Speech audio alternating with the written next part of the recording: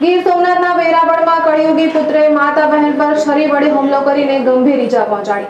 પ્રેમી પુત્રને અન્નપર્ણિત યુવતી સાથે લગ્ન કરવાની માતાએ ના પાડતા ઉશ્કેરાઈ જઈ હુમલો કર્યો. માતાને બચાવ જતા બહેનને પણ ઈજા પહોંચાડી. પોલીસે ગુનો નોંધી ફરાર પુત્રને ઝડપવાના ચક્રો ગતિમાન કર્યા છે.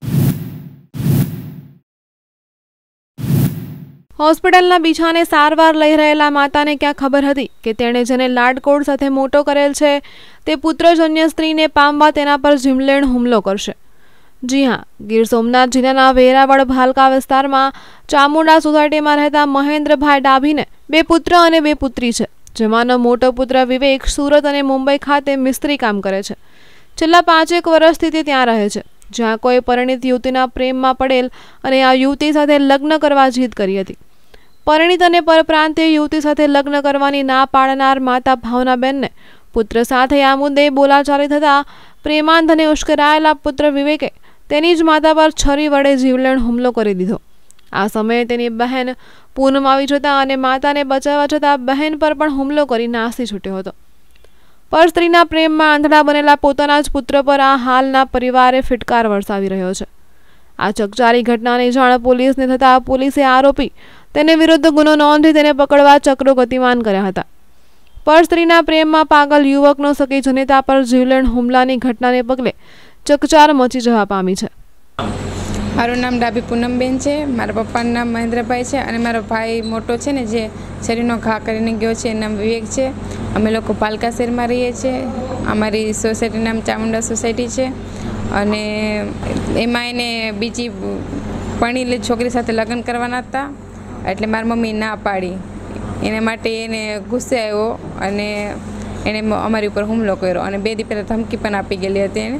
સાત વર્ષથી સુરત હતો ને મુંબઈ અપડાઉન કરતો. ને આ કોઈ છોકરીના પ્રેમમાં હતો ને એને એને લગ્ન કરવા હતા. ને મારા મમ્મી ના પાડી એટલે GM Rathwa police inspector Patan.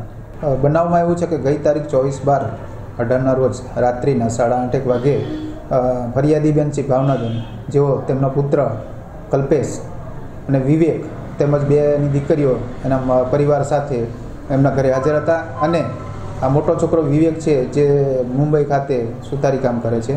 અને નંબર બે જે છોકરો છે એની સગાઈ હતી. એ સગાઈ પ્રસંગે બોલાવેલા અને સગાઈમાં આવ્યા બાદ આ પુત્ર અને એની મમ્મીએ કીધેલું કે તું જે છોકરીને પ્રેમ કરે છે એની જોડે નથી કરવું પણ આપણા સમાજની છોકરી જોડે લગ્ન કરવાના છે. એમ કહેતા તે એને પસંદ ના આવતા એકદમ ઉશ્કેરાઈ ગયેલો અને પોતાના હાથમાં રાખેલ છરી વડે હુમલો કરવા માંડેલો. અને હુમલા દરમિયાન એની બેન પૂનમ છે, એ વચ્ચે પડતા એને પણ વાગેલું છે. હાલમાં દવાખાનામાં સારવાર હેઠળ છે.